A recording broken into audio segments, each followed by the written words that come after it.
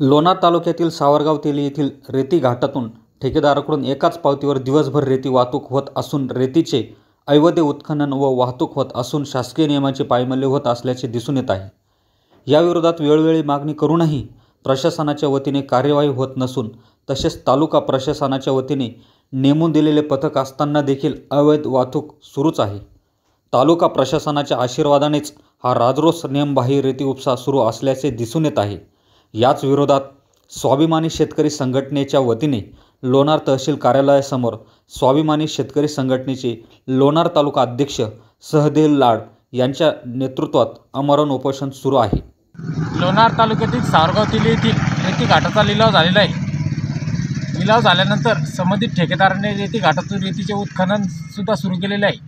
परंतु रेतीचे ठेकेदार असतील यांनी स्थानिक प्रशासकीय अधिकाऱ्यांच्या मदतीने आपल्या मनमानी कारभाराने महसूल विभागाच्या नियमांची पायमल्ली करून या ठिकाणी रेती उत्खनन सुरू केलेले आहे. एका एका गाडीवरती अक्षरशः दिवस दिवसभर वाहनांची वाहतूक सुरू आहे. यामुळे स्थानिक महसूलसुद्धा या ठिकाणी शासनाचा बुडत आहे व दुसरीकडे दोन मीटरच्या वरती किंवा त्यापेक्षा जास्त मोठमोठे खड्डे करून ठेकेदार या ठिकाणी रेतीचे उत्खनन करत आहे व रात्रीच्या वेळेला सहा नंतर नियमाने वाहतूक बंद ठेवावी लागते.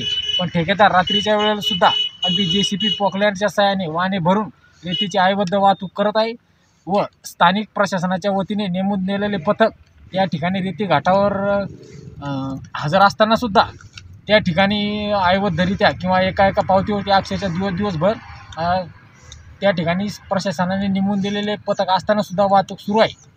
तरी आज आम्ही या ठिकाणी स्वाभिमानी शेतकरी संघटना लोणार तालुक्याच्या वतीने लोणार तहसील कार्यालयासमोर या सर्व भ्रष्टाचाराच्या विरोधात आमरण उपोषणास सुरुवात केलेली आहे.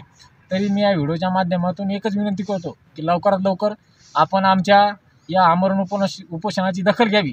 अन्यथा आज सोशल डिस्टन्सिंगचे पालन करून मोजक्याच उपोषणकर्त्यांच्या उपस्थितीमध्ये आंदोलन सुरू झालेले आहे.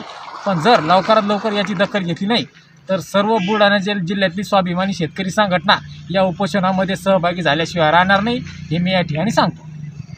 सदर उपोषणास संबंधित अधिकारी यांनी भेट देऊन उपोषणकर्ते यांचे समाधान करू न शकल्याने आज रोजी तीन दिवस पूर्ण होऊनही उपोषण सुरू आहे.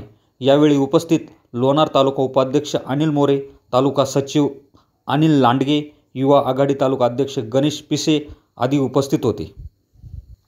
न्यूज फिफ्टीन मराठीसाठी अनिल वयाळ बुलढाणा